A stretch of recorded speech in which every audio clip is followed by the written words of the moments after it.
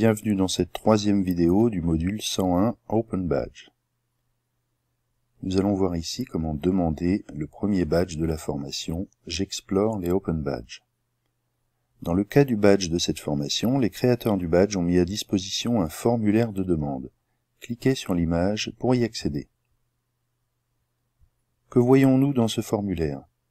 Le logo de l'organisation émettrice, le titre du badge, l'image, ce que reconnaît le badge, les critères pour l'obtenir, ici c'est simple, il suffit de le demander.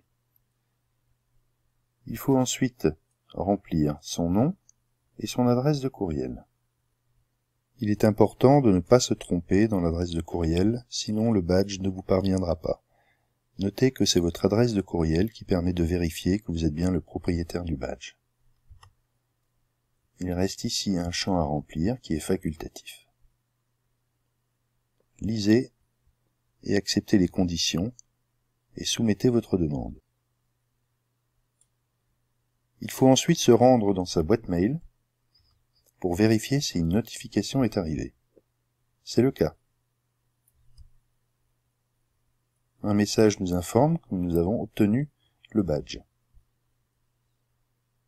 Cliquons sur Obtenir votre badge. Une page web s'ouvre.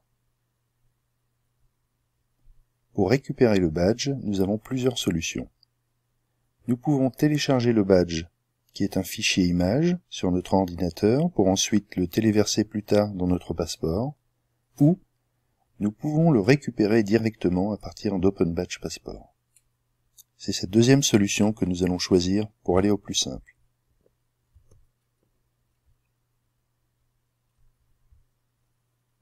Nous avons entré les identifiants de connexion. Cliquons sur Connexion. Nous arrivons sur le tableau de bord et nous voyons que nous avons un badge en attente. Rendez-vous dans la prochaine vidéo pour voir comment accepter son badge et paramétrer sa visibilité.